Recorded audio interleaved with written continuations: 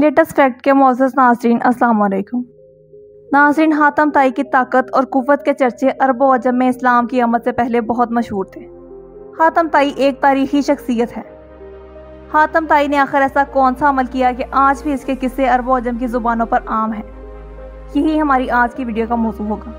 लिहाजा वीडियो को शुरू से आखिर तक ज़रूर देखिएगा। और अगर आप हमारे चैनल पर नए हैं तो हमारे चैनल को सब्सक्राइब करके वीडियो को लाइक कर दें। नाजरीन, हातम ताई छठी सदी ईस्वी में यमन का बादशाह रहा है।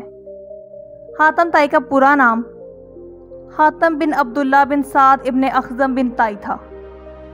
हातम की वालदा एक दौलतमंद और सखी खातून थी। माँ की वफात के बाद इसके भाइयों ने इसे जायदाद से बेदखल कर दिया और इस पर बेशुमार जुल्म किए और इसे कई दिनों भूखा रखा, चूँकि हातम ताई को सखावत वरासत में मिली थी। लिहाजा जब वो जवान हुआ तो वो नहायत ही सखी साबित हुआ। हातम इस कदर सखी था कि बचपन में भी अपना खाना लेकर बाहर निकल जाता और जब कोई मिल जाता तो साथ बैठकर खा लेता, वरना खाना फेंक देता। हातम अपनी सखावत के बायस पूरे अरब में मशहूर हुआ। इसकी सखावत के किस्से जगह जगह मशहूर हुए।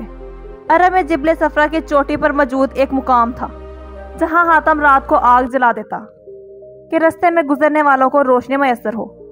इस मुकाम को आज हातम ताई का आतशदान कहते हैं। हातम ताई हर काम में माहर था। ख्वा वो खेल हो, तलवारबाजी हो या सखावत। जमाना जहलीत में माह रजब का चाँद बहुत मुकदस समझा जाता था। लिहाजा जब रजब शुरू होता तो हातम हर रोज दस ऊँट जिबा करता और लोगों को खाना खिलाता। वैसे तो हातम ताई की सखावत के बहुत से किस्से हैं, लेकिन यहाँ कुछ किस्से ऐसे हैं जो आज भी अरबोजम की ज़ुबान पर आम हैं। एक रवायत में है कि एक दिन रोम के बादशाह कैसर के दरबार में हातम ताई की सखावत का किस्सा शुरू हुआ। एक शख्स ने बताया कि हातम के पास आला नस्ल के घोड़े हैं, जो बहुत ही खूबसूरत हैं। बादशाह ने हातम की सखावत के किस्से सुने तो कहा कि जब तक किसी शख्स को आजमा ना लिया जाए, इसके बारे में कोई भी फैसला करना अकल के खिलाफ है। बादशाह ने अपने सिपाहियों को भेजा कि हातम के पास जाओ और उनसे कोई ऐसी शे तलब करो जो उसकी नज़र में बहुत कीमती हो। एक ने जवाब दिया कि हातम को सबसे प्यारा उसका एक घोड़ा है।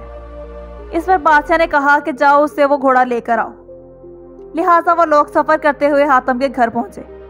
जब वहाँ पहुँचे तो बहुत बारिश शुरू हो गई। वो हातम के घर मेहमान ठहरे। ऐसे मौसम में घर से निकलना मुमकिन न था। लिहाजा हातम ताई ने उनकी मेहमान नवाजी के लिए घोड़ा जिबा किया और उनके सामने पेश किया। जब सुबह हुई तो उन लोगों ने हातम को बताया कि बादशाह तुम्हारी सखावत से बहुत मुतासर हुआ है और उन्होंने कहा है कि आप अपना घोड़ा उनकी खिदमत में बतौर नजराना पेश करें। इस पर हातम ताई ने कहा कि वो घोड़ा तो मैंने रात आपको खाने में खिला दिया। इस पर उन्होंने कहा, बादशाह के सामने आपके घोड़े की बहुत तारीफ़ की गई थी। अगर आपकी सखावत का ये किस्सा बादशाह सुनेगा तो कायल हो जाएगा। सन पाँच सौ अठहत्तर ईस्वी में हातम की वफात हो गई। और इसकी वफात के बाद इसका बेटा अदीब अपने कबीले का हाकम बना। वो नौ हिजरी में मुसलमान हुआ। उनके इस्लाम लाने का किस्सा बहुत मशहूर है। वो अपनी कौम के सरदार थे। लिहाजा कौम मालो दौलत और माल गनीमत का चौथा हिस्सा इनकी खिदमत में नजराने के तौर पर पेश करती थी। इन्हें मुसलमानों से सख्त दुश्मनी थी।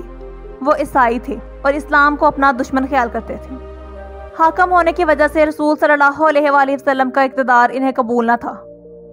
उनकी साजिश यमन के कबीलों ने बगावत की। इन दिनों हज़रत अली रज़ी अल्लाह यमन के गवर्नर थे। उन्होंने इस बगावत को ख़त्म किया और बागियों के लीडरों को कैद करके मदीना भेज दिया। इनमें अदी की बहन सफाना भी शामिल थी। वो नबी करीम सल्लल्लाहु वसल्लम के सामने पेश की गई। इस पर उस लड़की ने कहा कि मैं सखी हातम ताई की बेटी हूँ। मेरा बाप भूखों का पेट भरता था और कमज़ोरों पर रहम करता। इस पर हजूर वसल्लम ने फरमाया, तेरे बाप में मुसलमानों की खूबियाँ थीं। बेशक अगर वो मुसलमान होता तो हम उसे रहम का मामला फरमाते।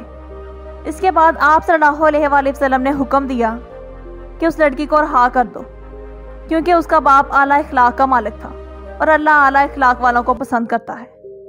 इसके बाद अदी और उसकी बहन सफाना ने हजूर वसल्लम से मुतासर होकर इस्लाम कबूल कर लिया। हज़रत अदी इब्न हातम रज़ी तला जंग सफ़ीन और जंग यमल में हज़रत अली रज़ी तला के साथ लड़े और जहाद किया। हैदर बख्श हैदरी की महफिल में हातम ताई के सात सवालों के किस्से ने इसे इस कदर मशहूर बना दिया। नाजरीन, इसी के साथ हमारी आज की वीडियो का अख्ताम होता है। उम्मीद करते हैं कि आपको वीडियो पसंद आई होगी। ऐसे ही और वीडियोस देखने के लिए हमारी वीडियो को लाइक और चैनल को सब्सक्राइब कर दें और साथ लगे बेल आइकन को क्लिक कर दें ताकि हर नई आने वाली वीडियो का नोटिफिकेशन आपको मिल सके।